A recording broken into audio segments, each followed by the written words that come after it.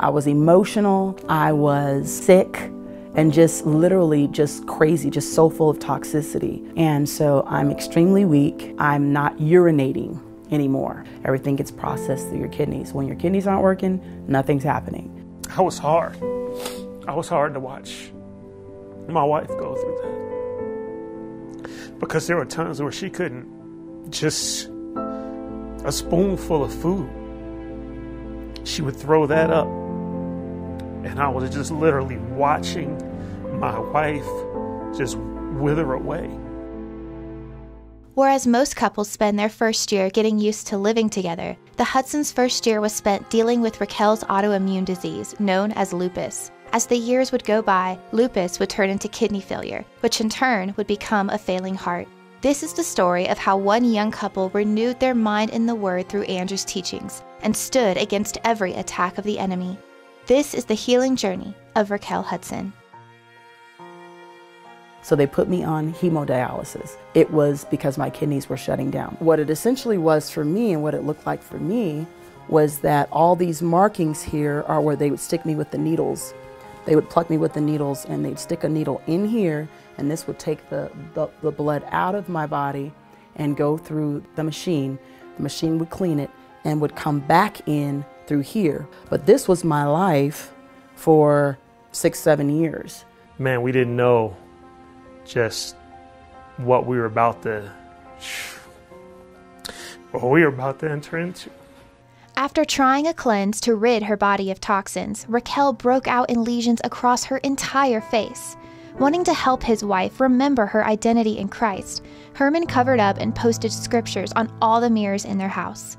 When you're going through something like that, it is really about yourself. It's about you. It's traumatic for you. And to have a husband who's going to come alongside and say, No, I see you as God sees you, and you're going to have to see you as God sees you. My wife is beautiful on the inside and on the outside. And while she was going through all these different physical changes, you know, the devil was busy. It was when he would go to work a lot of times that I would find myself incapacitated, couldn't move, just kind of on the couch and I would begin to reflect. And there were times that, yes, I did in fact think to myself, is he going to leave me? I could be at Chipotle or any sandwich place or something, and, and I'm just sitting down having a sandwich, and I, I'd see a young lady eating a sandwich, and the thought would just run by my mind like, man, wouldn't it be nice to be with her? She could eat a sandwich. But I knew enough to know that life is going to be won up here. And I knew that I could not afford to allow one thought to go unanswered. Every time I heard just that temptation cross my mind or that thought go through my mind, I spoke, He who finds a wife finds a good thing and obtains favor from the Lord. And I spoke that a thousand times. I don't know how many times I said it. And you know what? It preserved me. Of course, this wasn't their only issue.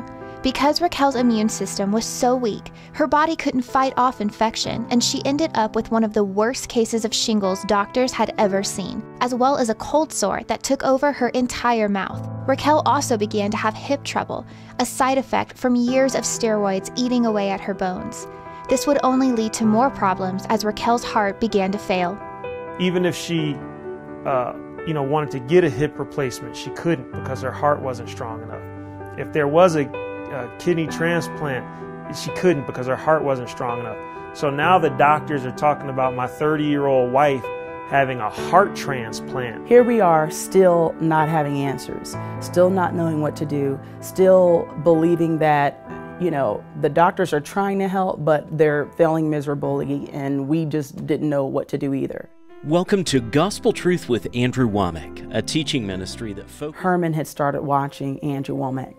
And what happened was my dad had started taking notice of him and listening to him. He told my mother, my mother told me, and I told Herman. Herman wasn't all that thrilled about listening to Andrew in the very beginning. I thought Andrew was like a Mormon or something like that. And I was like, he he doesn't have anything that I need to listen to. And you know, it's it's so funny looking back at that moment because I had no idea that my answers were coming out of this guy's mouth. Instead of begging God to please do something, you would say, Thank you, Father, that you've done it. And now, Satan, I command you to get off my body, to get off my finances, to get off my relationships.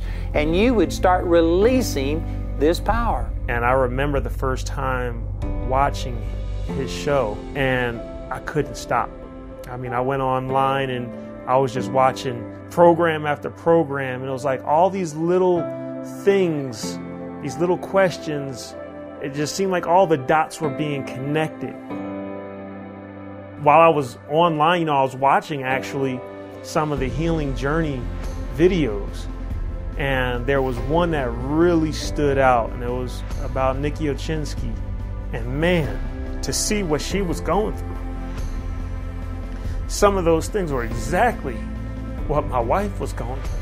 And I was like, if she can do it, we can do it. We didn't realize it, but things were shifting in our lives. We may not have seen it just from any kind of manifestation in her physical body, but the ship turned. Wanting to get his wife into an environment of faith, Herman and Racquel made the move to Colorado, where they began classes at Charis Bible College. You know, when Andrew talks about effortless change, the word was effortlessly changing our situation. But it was a journey. Everything didn't quite work out cookie cutter like you would like to think when you when you follow what the Lord is, is telling you to do. But we knew we were receiving life. But at the end of that semester, we just couldn't do it. She was back and forth to the hospital even while we were in school, and we just had to stop. We had to take a break. But we never took a break from the revelation that God had already paid the price for her healing. We stayed close to the life. We stayed close to the truth. And even though we, were, we weren't in school or anything, we were always plugged in, in in some capacity. People ask me sometimes, you know, well, was it just this moment? Was it just this miraculous, you know, what was the moment that everything changed? Well, you know what, for us, it was an effortless change. Just because you begin to start hearing something, it's not like necessarily everything has been uprooted or has been changed in your thinking. During this process of renewing her mind, Racquel visited a cardiologist who explained that her heart was failing due to her not eating for years. Ready to put action to her faith, Racquel stood on the teachings of You've Already Got It and began acting as though she was already healed. And I just decided, I just said, Lord, in Jesus' name, I'm going to eat. Now that my wife hasn't had anything really to eat in eight, nine years, but she started consistently eating for three straight months. I went back to see the doctor three months later, and he was astounded. And he runs his tests, and her heart is healed. Her heart is normal.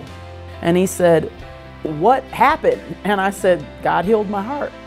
And he said, Well, I cannot disagree with you because what I gave you, I know I didn't have anything to do with it. What I gave you did not accomplish this result. Racquel's heart was healed, and after years of dialysis treatments, she was now ready to receive her new kidney and had one of the most successful transplants doctors had ever seen. Today, Racquel is completely healed, and together they share their testimony as young adult pastors of Charis Christian Center, where they teach young people how to effectively stand against the attacks of the enemy. We were under attack, and there's so many relationships that would have fizzled out and burned a long time ago. And here, here we were in the midst of this thing, still growing in love with each other. We're able to touch others, we're able to be an example to others, we're able to let our light shine, all because of what we learned here at Charis Bible College. What started out as a desperate journey to find hope had its finish as both Herman and Racquel graduated Charis Bible College together with the class of 2017. Racquel. It means so much to me to see my daughter graduate today. She's been through so much, but God has brought her through. That's why she sings every praise unto our God. And years ago, the doctors told us that she would not live through the night.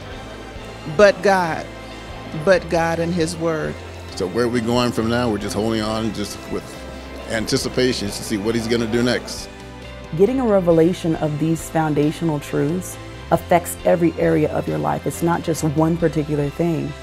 And every area in our life has been turned right side up. I don't even recall those moments when we were up late at night and, and crying and carrying her to the bed and from her health to our finances.